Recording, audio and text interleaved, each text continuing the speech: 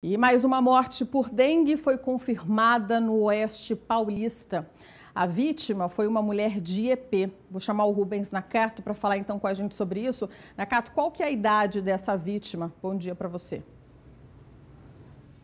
63 anos, segundo a Vigilância Epidemiológica em IEP. Jéssica, bom dia a você. Bom dia a todos que acompanham o SBT Interior.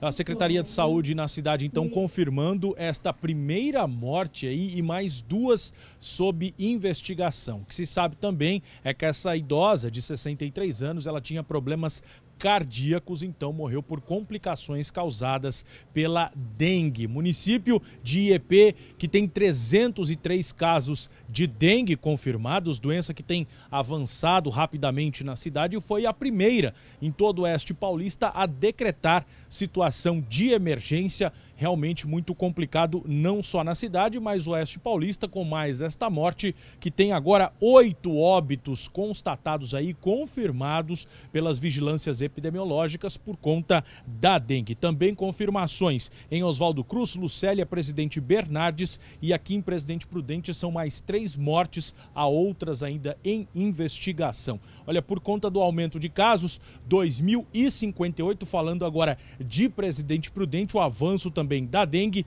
situação bastante complicada nas unidades de saúde, principalmente onde eu estou aqui, olha só, no ponto de apoio à dengue, anexo ao BS da Coab, na zona zona oeste da cidade, procura bastante aquecida, bastante movimentada realmente aqui este ponto de apoio, melhor dizendo. Então aqui na Coab, tanto lá no Santana também na zona leste, a procura aí é bem grande realmente por conta desse avanço da doença. Muitas pessoas com sintomas de dengue aqui em Presidente Prudente. A prefeitura reforçou aí, né, que não só aqui, mas outras unidades também estão fazendo um trabalho importante para conseguir dar atendimento à população que chega então com sintomas da doença.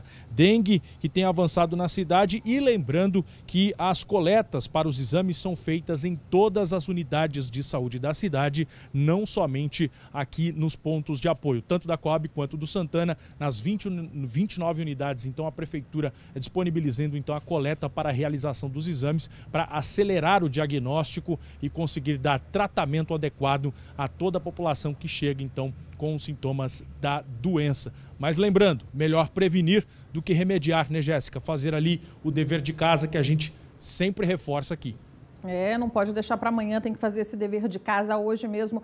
E olha só uma imagem que chama atenção, Nakato, é de que todo esse pessoal que está aí no ponto de apoio esperando para ser atendido, que está com sintomas de dengue, a gente está vendo muitas, muitas pessoas jovens, não só idosos, mas também os jovens. Então, ou seja, a gente pode colocar que muitos desses casos registrados no Oeste Paulista todos são aí de pessoas mais jovens. Olha só o perigo, gente, pessoas saudáveis que mesmo assim acabaram né, sendo picadas aí pelo mosquito Aedes aegypti, o mosquito que transmite a dengue. Então vamos se cuidar, não tem idade para tomar esses cuidados, seja criança, jovem, mais velha, é preciso se prevenir e fazer o, o deverzinho aí de casa básico, porque todos têm que estar aí em luta contra a dengue. Obrigada, viu, Nakato?